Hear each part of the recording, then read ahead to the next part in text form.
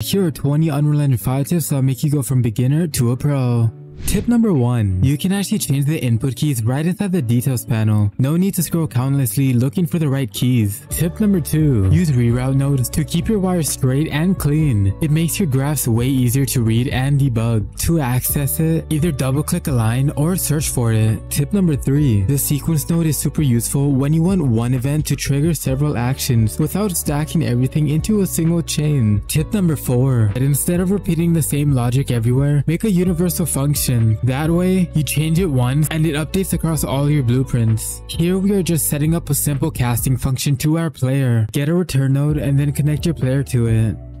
Alright, now if you open up any blueprint, you can call that function that you just created.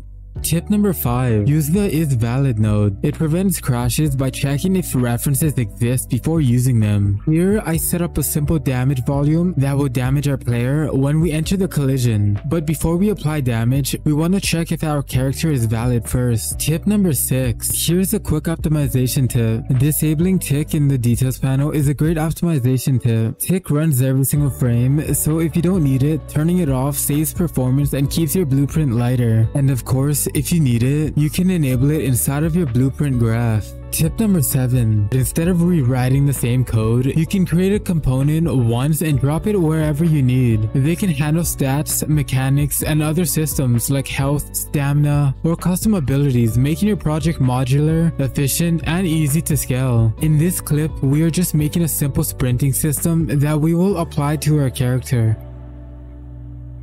Alright, now that you've created your functions, let's add the component to our player. Now get your input and get your components, then get your functions. Tip number 8. Print strings can be used to debug in Unreal Engine. You can print messages, variable values, even actor names in real time. Perfect for checking if your code is actually running. Tip number 9. Use string tables to store text. This will come in handy when making UI, dialogues, item names, etc. To use string tables, type in the name inside of the key, then type in your message inside of the source string. In my case, I am going to name it dad because he will be the NPC. Then open up your dialogue add a text, then create a binding of that text. Now get a make literal text node, and then you can switch the text within that string table.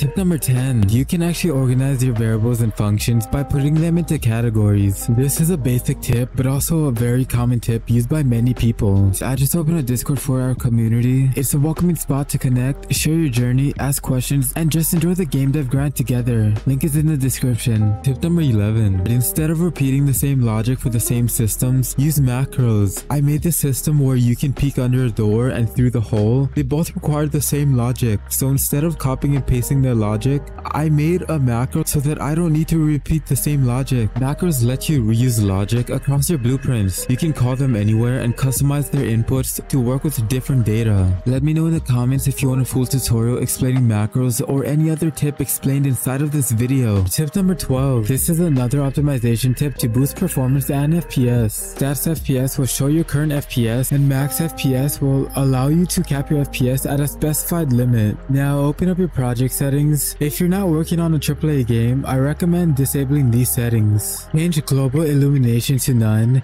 and reflection to none or screen space. Now search for nanite, then disable it, and then it's gonna ask to restart your project. Now type in the stats FPS command and enjoy your boosted performance. Tip number 13. If you press the N key, it will snap your object to the surface. Tip number 14. You can group objects together by pressing Ctrl and G together. And if you want to ungroup them, press Ctrl, Shift, and G together. Tip number 15. If you hold Ctrl and L while left clicking, you can actually adjust the sunlight. Tip number 16. If you press shift and click, you can duplicate all your wires and drag it to another pin. Tip number 17. If you press control and click, you can drag your wires to another pin. Tip number 18. Instead of using event tick, use a set timer by event. Event tick runs every single frame, while set timer by event runs at a set time, and it can be paused or cleared when you don't need the timer anymore. Tip number 19. If you highlight anything inside of your blueprint graph, you can actually press Q to straighten nodes or pins. Tip number 20. If you make your variables public, you can edit the values outside of your blueprint, and the variables you made public will show up inside of the details panel. Right now I'm just setting my level. You can also use this when building modular environments. The way to set this up is quite simple. Alright, so you want to create your list of items inside of this enumerator. Now you want to create your blueprint. Now just add any shape and then open your construction script and then you want to add your enumerator to the blueprint. Construction script runs before the game starts, which will allow us to switch our shapes. Now you want to set static mesh of the cube, and then for the new mesh, just select your shapes.